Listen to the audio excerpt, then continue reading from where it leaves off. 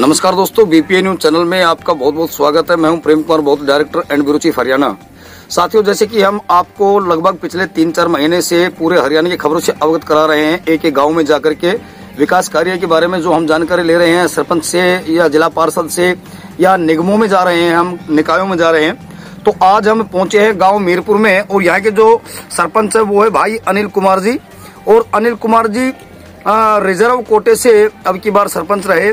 आज हम उनसे जानना चाहेंगे कि गाँव में किस प्रकार का विकास हुआ है और किस प्रकार का प्रशासन से सहयोग मिला सरकार से सहयोग मिला है। अनिल भाई कैसे हो?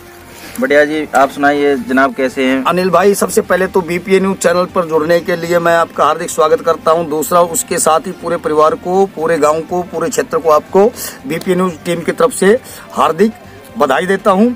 आपका ये वर्ष शुभ मंगलमय हो। अब हम जानना चाहेंगे आपसे कि आपका इस योजना में कैसा विकास कार्य रहा?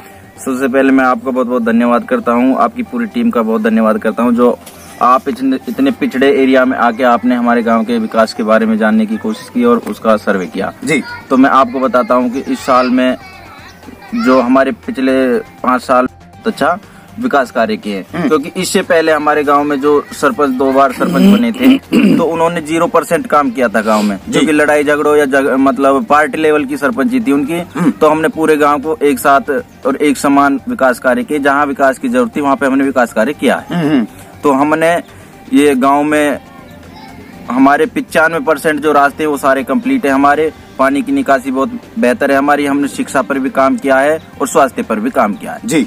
सर बिजली पे क्या काम किया आपने बिजली पे हमारे सन छिहत्तर से सिर्फ़ एक ट्रांसफार्मर था गाँव में हम्म।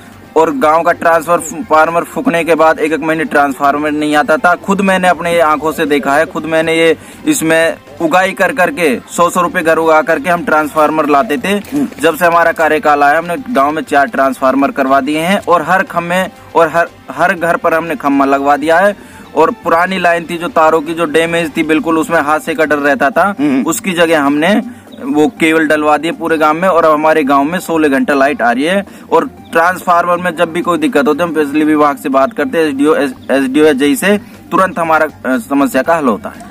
सर एजुकेशन पे क्या काम किया आपने? एजुकेशन पे जो हमारा स्कूल था वो आठवीं तक स्कूल है उसमें पहले पानी की समस्या थी लाइट की समस्या थी और उसमें बच्चों के लिए बैठने के लिए मतलब जो मैदान था उसमें पानी भर जाता तो हमने उसमें भर्त कराया है वो भी वो भी बूढ़ा मिट्टी का और उसमें पेड़ लगवाए हैं और उसमें पानी और लाइट की सुविधा कराई है हमने।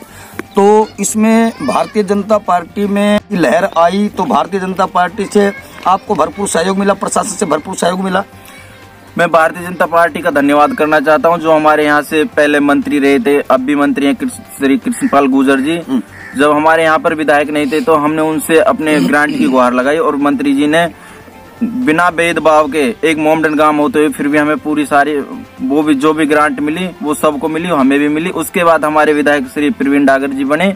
तो उन्होंने भी बिना भेदभाव के मोमडन गाँव होने के बाद क्योंकि लोग आग कहते हैं कि मोमडनों में ग्रांट नहीं देती बीजेपी सरकार। हम्म। क्योंकि हमारे यहाँ से वोट बहुत कम निकलने के बाद भी विधायक ने हमको समान रूप से ग्रांट दिए और बहुत अच्छा सहयोग दिया है। तो ये थे भाई अनिल सरपंच मीरपुर गाँव हथीन विधानसभा जिला पलवल से और यहाँ के जो प्रेजेंट विधायक है, वो भाई प्रवीण डागर जी है।